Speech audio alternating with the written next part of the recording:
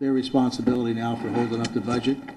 It was eminently clear today. I don't think a better case could have been made than it was made by Senator Maldonado. And um, I'm just sorry that what the governor offered and was prepared to do wasn't sufficient. At one point, it would have been, but it seems like every time we take a step forward, they ask us to take two steps back. And uh, I don't frankly understand why th- there wasn't a budget vote tonight, why there was not 27 votes at least for this budget.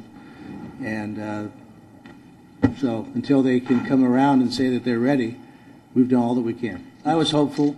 Um, you know, I've been, been around a little too long to think anything is sure until it's done. But it had appeared that most of the things that, that we had talked about were either resolved or, or were close enough that, you know, as they say for government work. The thing that pains me more than anything, really, is that uh, we've had a pretty good relationship with our Republican colleagues, and I think I've been, as the Democratic leader, been very straightforward with them, very generous with the opportunities to share in the operation of the House. They chair two committees; they don't have to. Um, so we've done quite a lot to work cooperatively. And I believe that their unwillingness to accept that uh, Dick Ackerman and I could sit down and resolve these things uh, really is, is a back of the hand to the relationship that we've had. And it's unfortunate. I always felt, felt that one of the things that separated the Senate from other institutions and bodies was that there was a sense of collegiality, cooperation, and, uh, and trust. And there certainly was no exhibition of that tonight, and that's really it saddens me. I think it's unnecessary. When, when Dick and I talked, it always appeared that Dick and I were able to come to some kind of an accord. And then the next time we got together, it had all come undone. And uh, I understand that the, the, the Republican caucus was bound by the rule of eight, that eight of their members had to agree before any members could vote for it. And if that's the case, you really don't have anybody in charge uh, the lowest common denominator, the person with the least to lose, the most to gain, calls the shots. I don't know if that's true or not, but it certainly would explain a lot if it were. Uh, what I tried to get everybody to appreciate is that Fabian Nunez, Mike Villines, Don Perata, Dick Ackerman were all selected by our caucuses to represent the caucus, respective caucuses in the four corner negotiations. We weren't picked by the governor. We weren't picked by divine intervention. We were picked by our peers.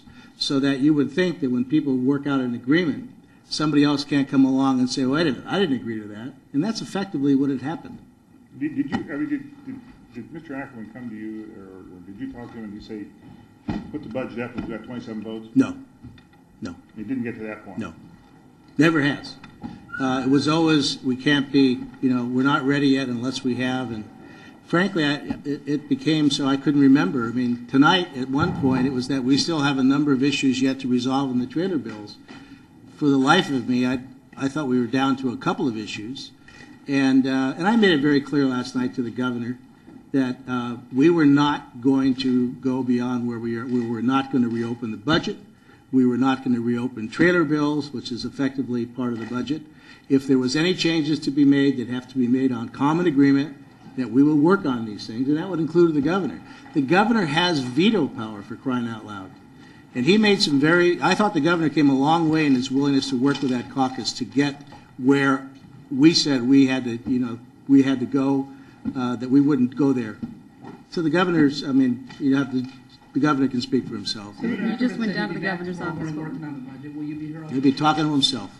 What happens? Are you done negotiating? You said that a couple of weeks ago. No, there is no nego, there is, I've been, you know what I've done? I've been sitting down and listening and trying to figure out how to solve the problem. I'm a good Catholic boy. You know, I'm always trying to solve everybody's problem. Uh, I can't do that. This is a Republican problem. It's going to have to be solved by Republicans. The state budget is being held up by Republicans. They are captive of people who do not believe, unless they have it their way, they're ever going to go our way. So I'm done, and, um, and I'm done. Frankly, I'm done listening. You know, I'm not. You know, we have. If you would have ever told me that uh, I would be sitting here discussing a budget that the governor said he would take down to zero with his vetoes, I'd be shocked. But we've done a lot. We've made a lot of compromises. I said before, this will never make my highlight reel. I didn't call my kids and say, I got a great budget. You're going to be proud your father voted for. This was a bipartisan compromise, the best we could do under very dire fiscal circumstances. And, um, and I resent the, I don't resent it, I can't resent it. It's, it's absurd to me to have Senator McClintock stand up and talk about the future generations when they won't vote for kids who are in foster care, they want to take money away from children whose parents are on CalWorks, that we are not going to provide for people who are in their homes trying to live a dignified life and pay the attendants $12 an hour. I mean, talking about, whose future are we talking about? Whose kids are we talking about? And there was things in this budget, Senator Maldonado brought one of the Williamson Act. We said, from day one, they said, you can't, we can't vote for that. We have to protect those who are, protect whatever they're doing with their Williamson Act money. I said, okay, that's fair. And we did a couple of other things we said we would agree to. That I certainly, you know, I've never said out loud. So I'm done. I don't know what else we could do. I'm frustrated.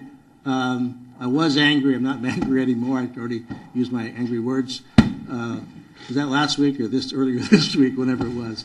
So we're going to go. I've told my members uh, go back to your districts, uh, do some productive work, maybe explain to people because you're going to get lots of phone calls about why hospitals are not getting paid, why community colleges aren't being paid, why uh, people who are taking care of their children in daycare are not going to be uh, paid for. And we're not going to go and say, give Senator Ackerman's office a call. We're going to tell them the truth. You know, it's a bipartisan budget. It doesn't have bipartisan support. Until Republicans are willing to put up a vote, we're not going to have a budget. So you're looking to the governor to get that twenty-seventh vote? Is it his responsibility? I can't get it. Senator, why turn down the emergency appropriation then if you're worried about those things that the Republican caucus is trying to do? because we do not have we do not have continuing resolutions. We're not like Congress where you can dither around and just roll over the budget and never take any responsibility. We have to have a balanced budget. Ask any Republican out there. So for them to just come up with this idea that somehow we can have pick and choose what we're going to fund is disingenuous, which is a large word for saying it's a dishonest way to conduct business. Can you say what the governor said when, when you and Ackerman met the, the last time? He just said what he always said. He was really disappointed that, uh, you know, the, these issues could not be resolved. Uh, I said I was too. And, um, but, you know, I, at that point, I, I kind of like, I felt like I was in somebody's bedroom and I had to leave. I mean, I, I had no, I have no, re- I shouldn't have been there, so I left. Senator, are you aware that we are facing a social crisis in the state? Whether your political future is in risk with this? I know you are doing the best that you can, but this is going to affect everybody. I'm aware of it. Yeah, I'm aware of it. Uh, the California Constitution requires, in its wisdom, that two-thirds vote must be cast to pass and approve a budget.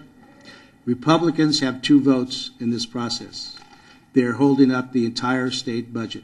Now there's only one. Senator Maldonado, I think, uh, showed great courage, great statesmanship, and probably some risk uh, in what uh, in what he said today, and he cast an aye vote. And he went right down the line, everything. No new taxes, no new programs.